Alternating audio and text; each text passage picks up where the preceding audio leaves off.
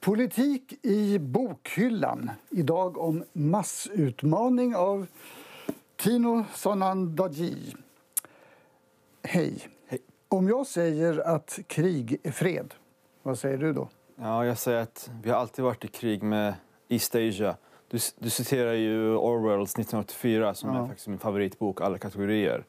Och en av hans många eh, insiktsfulla poänger i den här boken är att språket kan användas för att manipulera tankar. Och i lingvistik pratar man ibland om tror jag, Sapir-Whorf-hypotesen. Vi tänker med språket och därmed att använda språket kan man då eh, manipulera folk. Och det är det du lyfter fram här med när du talar om massutmaning. Hur tänker du i nyspråkstermer här? Ja, det är att ordet utmaning, det är ju, som man säger bara på 1700-talet citeras, det är ju ett, ändå ett mer eller mindre positivt laddat ord som innebär uppmaning till kamp, en, en, en, någonting som är svår och ansträngande men önskvärd. Eh, ungefär om man ser på tv kan de säga reklam. Söker du en ny utmaning, sök, sök jobb här. Men nu används det på ett annat sätt. Nu Hur används det du? tvärtom att det har ökat, det har blivit inflation i det här ordet. Att nu används det för att prata om problem som en eufemism för problem som man inte kan lösa. Gängvåld, kriminalitet. Barnfattigdom, ambulanser som blir attackerade, barnäktenskap är en utmaning, Isis-krigare är en utmaning. Gäng, ja, som du säger, mord på granatattacker på, där barn dör, det kallar man en utmaning. Och Vad, ty- vad tycker du om det? Nej, jag tycker att det, det, det, titeln på min bok försöker håna det. Och jag försöker då själv använda lite manipulativt språk. Att varje gång folk då hör det här fula ordet utmaning ska de tänka på, tänka på det här. Att Eh, man, man försöker då helt enkelt bortförklara problem och kalla dem för utmaningar. Och det fungerar. Det är politiker väldigt duktiga på. Jag citerar i boken rapporter där de kanske använder det här ordet 200 gånger. Du använder ju också mycket statistik i boken. Jag tänkte att du skulle titta på en del. Eh, första grafen här om hur Sverige tar emot flest asylsökande per invånare i Europa. Vad säger du om den här statistiken? Mm, så, så den här statistiken då visar att Sverige inte tar emot utan tog emot. För nu har ju Sverige stängt mycket gränserna och nu är det inte längre Sverige etta. Men eh, dels att Sverige under en lång tid tog emot fler andra, andra länder. Dessutom utöver det, när 2015 då som är röda, under flyktingkrisen tog Sverige dessutom emot ännu fler och ännu mer andra länder. Och OECD säger ju att eh, svenska asylmottagningen det året är den no- högsta som har någonsin uppmätts i något land. Och vad tycker du om det? Ehm, Jag tycker att det är viktigt att veta de här siffrorna och man måste fatta ett rationellt beslut. Är det här, är det här en policy man vill följa? Och i boken argumenterar jag ju att det inte är en bra policy. Och dessutom får jag säga att eh, den, den rödgröna regeringen själva verkar tycka det i och med att de har ju sedan dess då minskat de här volymerna med 95 procent. Vi ska titta på lite annan statistik från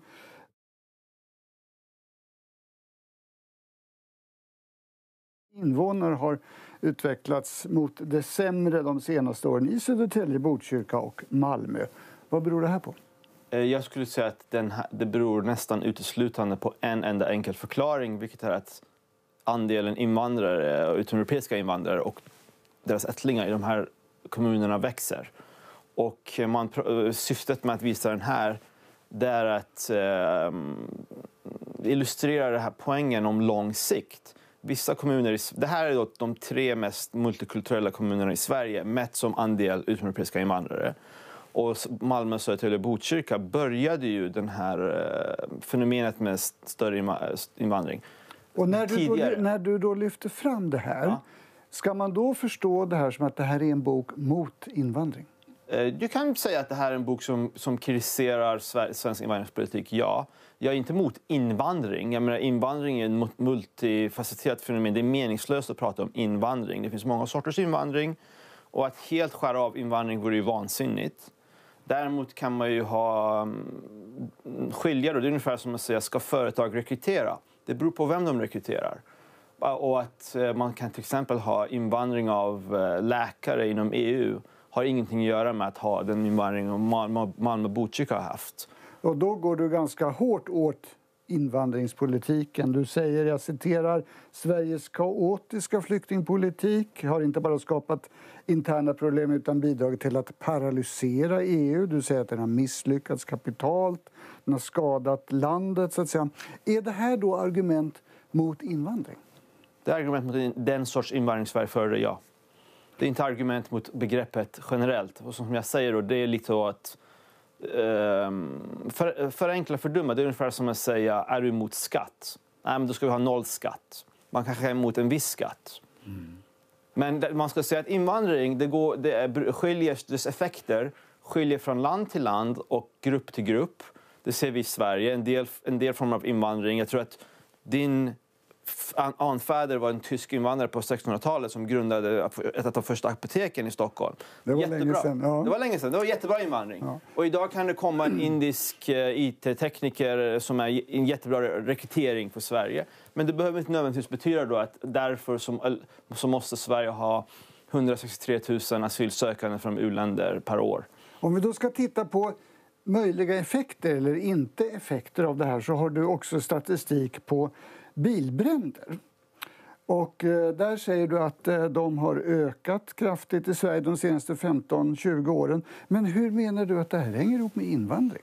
Ja, det här är fordonsbränder som ja. är anlagda. Det här är räddningstjänstens siffror i de här tre länderna. Men hur hänger det ihop med invandring? Det hänger ihop med att det här sker nästan uteslutande i invandrartäta områden. Vi har inte haft någon som har mätt vem som ägnar sig åt det här men allting tyder på att det i princip eh, nästan helt är invandrarungdomar Men det, som det, på de här, här det börjar bli lite då svårt att säga allting tyder på. Du visar ja. den här siffran men du visar ju inga siffror som, som visar att det hänger ihop med invandring. Just. Det är för att det har aldrig undersökts. Nej. Så det är omöjligt för mig att visa, att, eftersom någon inte undersöks, och man vägrar undersöka det för att också säga. Mm. För jag har till exempel frågat, det finns data på misstänkta i anlagda bränder. Så jag har frågat kriminologer, är de, har, har de här invandrarbakgrund?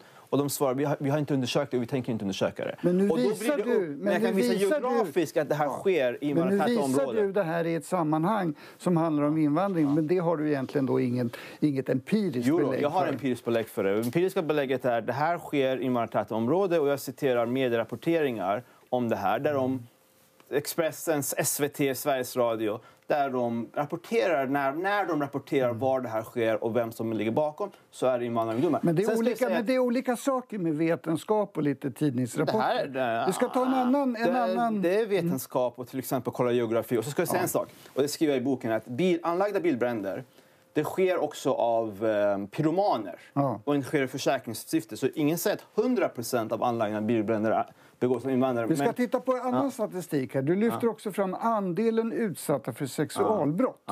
Och det har ökat då för unga kvinnor. Återigen, hur hänger det här ihop med invandring just? Eh, vi vet att, för, att eh, Brottsförebyggande, Brottsförebyggande rådets senaste rapport som är 15 år sedan, så var redan då majoritet av misstänkta för sexualbrott hade invandrarbakgrund. Det är 15 år sedan. Och de data man redovisar, eh, som ibland sipprar igenom, så var två tredjedelar av de som eh, utförde eh, överfallsvåldtäkter i Stockholm var utländska medborgare. Förmodligen men det är, ännu förlåt Mig, men det är ju äldre siffror än de här. Det här är 2008. Ja, men, och du, är här är de, det här är de senare, ökningen är ju senare. Och problemet det finns är, inga siffror, Erik. Men du kopplar det till ja, naturligtvis, invandring? Naturligtvis kopplar det till invandring. Och regeringen själva säger att den här bilden har inte ändrats.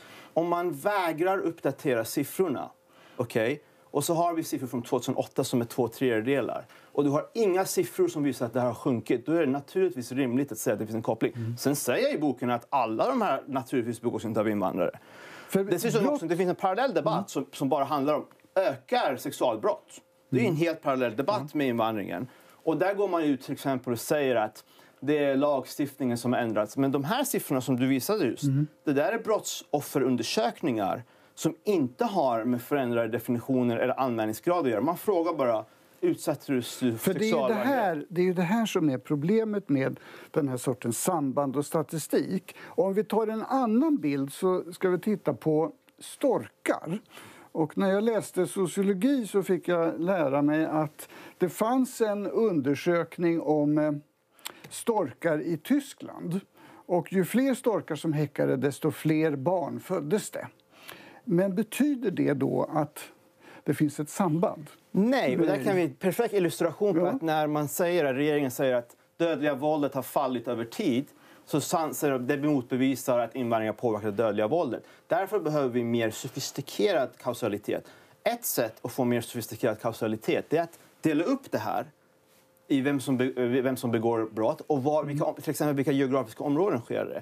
Om vi observerar, som i i den här boken, att ökningen av skjutningar har uteslutande skett i invandrartäta områden då är det en stark kausal argument, mycket bättre än det här med storkar, eh, om att det har med invandring att göra. Och om du samtidigt vet från den existerande forskningen, som visserligen inte uppdateras eller uppdateras sällan, att invandrare är starkt överrepresenterade i brott så, är, så följer det logiskt att Men- om en grupp som ja. överrepresenterad i brott ökar och deras eh, överrepresentation inte sjunker så kommer det att pressa upp brottsligheten. Du är ju nationalekonom, Ja. men det du lyfter fram här är ju kriminologisk statistik. Nationalekonomer det- har ofta skrivit om Och- och kriminologi. en- Just kausaliteten och är en bidrag vi har gjort då- i kriminologin. En av dem som då kritiserar det, är ju, som du också kritiserar i boken, är ju Jerzy Sarnecki Ja. som är professor i kriminologi. Och han hävdar så här att problemet med dig när du lyfter fram statistiken är att du letar bara efter det som belyser din hypotes. Och det gör Kan det du mindre nämna trovärdigt. kan Nej, du- jag, jag, kan du jag nämna- refererar. Vad Absolut. svarar du honom? Mitt svar är eh, det finns ingen statistik som Jerzy Sarnecki har lyft fram som går emot det här. Jag troligtvis finns det hundratals studier om kriminologi. Jag kommer inte nämna alla. Men eh, de studier han själv tar upp bekräftar också att invandrare är överrepresenterade i brott. Och börjar säga att ah, det finns 24 studier som visar att invandrare är överrepresenterade i brott. Varför nämner du bara tre av dem? De andra visar samma sak. Och här är viktigt att säga också att Jerzy Sarnecki driver en väldigt intressant hypotes. Han säger att invandring har ingen effekt på brottsligheten i Sverige. Trots att han medger att invandrare är överrepresenterade i brott och att invandrarnas befolkningsandel ökar. Det enda sättet logiskt det här kan eh, hänga samman det är att invandrare skulle minska existerande befolkningsbrott. Men och det är är en hypotes som Jerzy Sarnecki, om man pressar honom, medger. Nu är har inte han här, men nu får men, jag okej, men nu han- frågade ja, du han mig, krit- Erik. Inte jag ja, han avsluta? krit- han du frågade mig, ja. då får jag avsluta. Ja. Den hypotesen existerar inga empiriska belägg på. Jerzy Sarnecki, jag vet inte om han vet det här eller inte, men det här kallas suppositionshypotesen. Nationalekonomer, bland annat, Men har undersökt ja. den, snälla, har undersökt den, och till exempel Italien. Och det finns inga belägg, men Problemet- prostitution ja. där invandring minskar svenskarnas Min brottslighet. grundfrågan här till dig är hur vi ska förstå och tolka din bok. Mm. Är detta en opartisk vetenskaplig sammanställning av statistik eller ska vi se Ja. det som en kampskrift mot invandring? Eh, för Jag måste säga att det ena utesluter inte det andra. För det första. För det andra är det så att, att kategorisera på det här sättet och bara säga det är en postmodern tendens. Va? Det här är åsikter. Alla har åsikter. Jag väljer en åsikt jag gillar. Har du frågat Jerzy Sarnecki någon gång om det han säger är partiskt eller om han driver en tes? Det här kan man egentligen bara bedöma i sak. Och du kan ju se att min bok har ju fått väldigt mycket hittills positivt beröm också av forskare. Jerzy Sarnecki eh, har varit kritisk och, och jag är kritisk mot honom. Och andra är kritiska mot honom. Det är så vetenskap går till. Man tack, kri- ja. tack. Då kan vi konstatera att du hävdar att det är vetenskapligt belagt men det är samtidigt en politisk stridsskrift. Ja. Så det är både och i det sammanhanget. Den har i vart fall väckt väldigt mycket debatt och kommer säkert att göra det i fortsättningen också. Tack Tino för att du kom hit. Tack själv.